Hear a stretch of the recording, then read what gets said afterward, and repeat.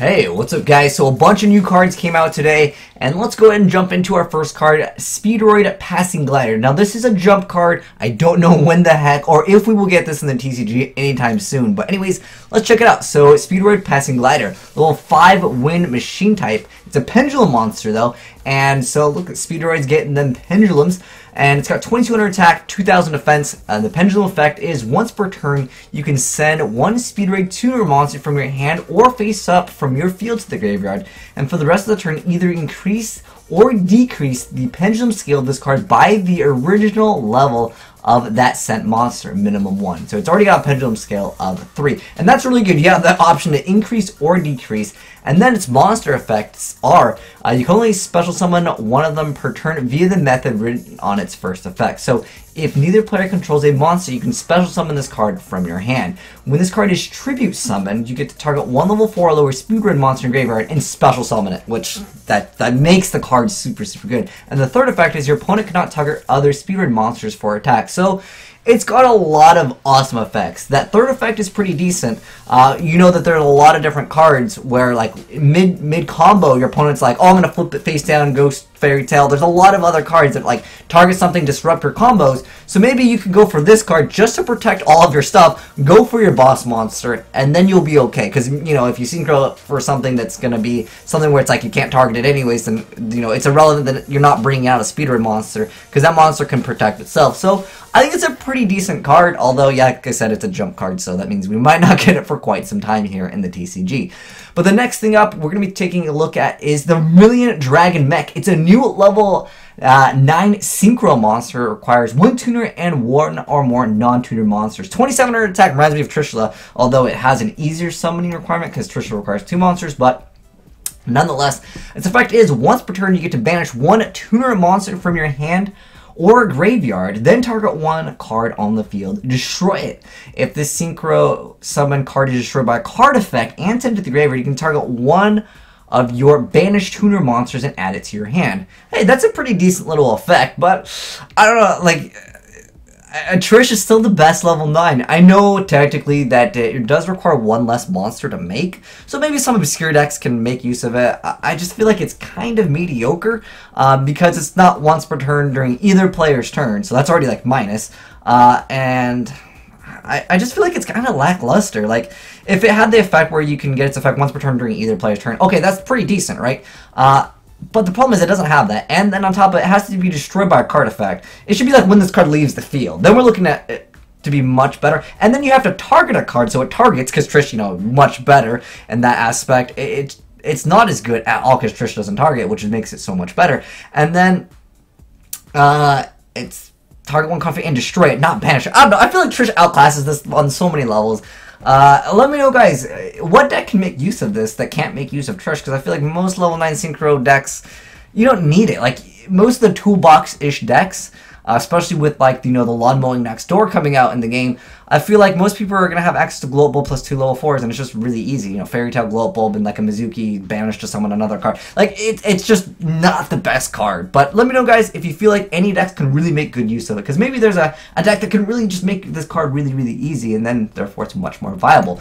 But next up, this is the upcoming Shonen Jump promo card. It's the Odd-Eyes Persona Dragon. So if any of you guys are interested in that, um, actually, let's confirm. Let's see what it says. Uh, confirmed in the podcast. But let's go ahead and go over its effect really quick. Uh, so anyways, it is a dark pendulum with a scale of 1. I like that scale of 1.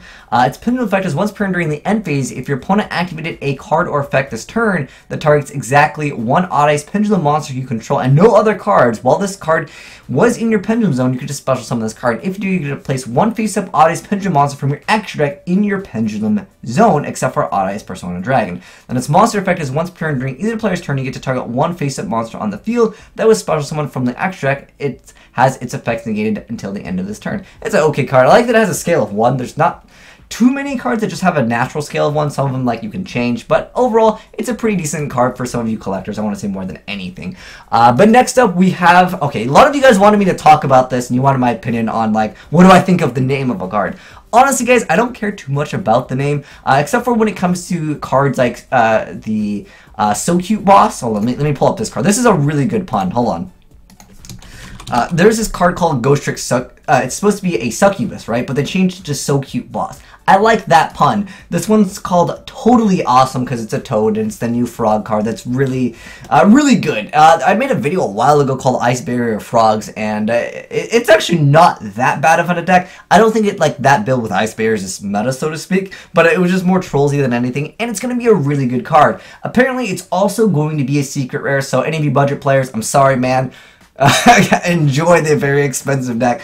Uh, there's a lot of different builds that run this. Heck, a lot of Mermail decks. There's uh, Deep Sea uh, uh, the card that brings out like all the waters. Uh, I know there's going to be a lot of innovation that people try with this, but honestly, guys, there's been arguments of like this is going to be the best deck. That's why secret. I feel like ABC just outclasses it because if you have a CDI, you you completely shut down this deck. And the the thing with CDIs, it's such a consistent deck versus some of these obscure decks that run the ancient CD uh, C, C Deep King or King whatever that brings out the other cards. Those are just less consistent than uh, ABC. That's the way I see it. But uh, as far as the name goes, and you guys can say the name is cringy, the name is really stupid. I just, you guys wanted my opinion on it, and I don't really care too much about the names. It's just all about the effects. But anyways, next up we have the other SPYRAL card that I don't think I covered. So it's SPYRAL Mission Assault. Now this card came out a few days ago, uh, or got leaked, or it was actually actually I think Konami actually posted because I always write the sample over the cards. But anyways, SPYRAL Mission Assault. So it's a continuous spell card that says destroy this card during your third end phase after activation. Once per turn, if a SPYRAL monster you control destroys a monster by battle, or if you destroy a card or cards on the field with a SPYRAL monster's effect you control, you can draw a card. You can banish the card from your graveyard to special summon one SPYRAL monster from your hand. So it's got a lot of uh, defense. I like that ability to, you know, if your play goes south, you can just go ahead and banish it and summon another thing, and then destroys itself. Therefore, uh, you can uh, get an extra free card. Uh, and then you get that extra draws. I like that ability. And it doesn't say you can only use this effect once per turn. So that's pretty cool. Uh, I think it's got a little bit of potential. I know that there are cards that skip your certain phases. Um, I don't know if anyone's like, I know there's like Solomon's Law Book skips like your second standby phase or next standby. There's a, there's a lot of cards that can skip certain phases. I'm sure that if someone really wanted to, they could probably somehow skip like that turn or something so it doesn't get destroyed. It's pretty much irrelevant. Uh, you guys let me know if there's a card that does that. I know there's one that skips like your standby phase, but this is end phase. I'm, like I said, I'm sure there's a card. You let me know down below what that card is, uh, if there is one that is like on the end phase. But nonetheless, uh, I think it's an okay card. It definitely is more support for the SPYRALs. Uh, but next up, we have another Predator Plant card. So this is Predator Plant Pteronethes?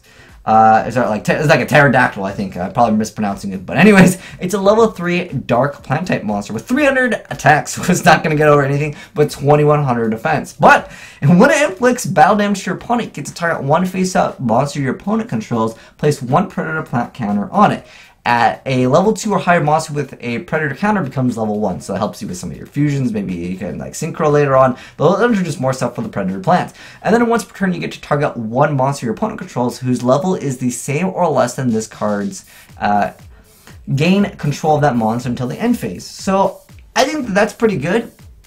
You're able to steal something. Now, what would make this card much, much better if it was a tuner, um, because then you could, like, do a lot more with it. Uh, but you guys let me know what your thoughts are on this. Also wanted to make this little quick announcement for any of you Yu-Gi-Oh fans that are interested in the uh, Yu-Gi-Oh Dark Side of Dimensions. They're still holding a voiceover contest. I know that they've done this for a while, so maybe they still haven't found the right person. But anyways, it says Yu-Gi-Oh fans, get ready to use your voice. 4K Media. Okay, so uh, basically all it really comes down to is uh, there's the movie's coming out uh, next year, and um, they're holding a voiceover contest at the Yu-Gi-Oh Championship Series in Minneapolis, and uh, the voiceover contest uh, will give the fans the opportunity. Okay, so anyways, the important information for any of you guys attending this and want to actually uh, maybe have your voice in the movie, which is I think kind of cool that they're letting the fans do that. But anyways, uh, the voiceover contest will be held on October 15th and 16th. Uh, at the Yu-Gi-Oh! Championship Series at this location, Hall D 13 01 2nd Avenue, South Minneapolis, and there's the address and everything like that. And then here are the times, guys, for any of you guys, again, that are interested in it. So it's Saturday, October 15th, and Sunday, October 16th, and then they give you the times. And I'll, I'll link this down below if you guys want to read, like, everything, but I'm just not going to go over everything. But there is something also that I want to mention.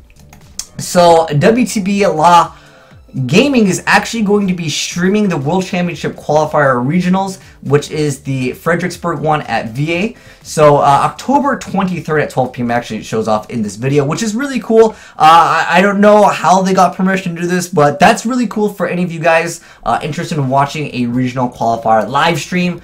Uh, really awesome stuff to be able to see like your competitive Yu-Gi-Oh actually, you know, recorded because sometimes they don't stream these and sometimes as YouTubers they don't let you record. So if you guys want to go ahead, make sure you guys go to their channel and sub Arena to them so you guys can watch the regional qualifier live. And that's going to be at 12 p.m. on October 23rd. It's yeah, just sub to them so you guys will see it. Uh, I'll, I'll probably hop in to see what people are playing. And I want to know how the heck they got permission to do that because yeah, he hit me up and he's like, yeah, I'm going to be live streaming this. That's awesome, man. But uh, yeah, go ahead and uh, check them out, guys. And uh, yeah, October 23rd at 12 p.m. But anyways, uh, hopefully you guys enjoyed the vid. If you did, make sure you guys give a like button, a titty slap, and let me know what you're excited most about as far as the cards.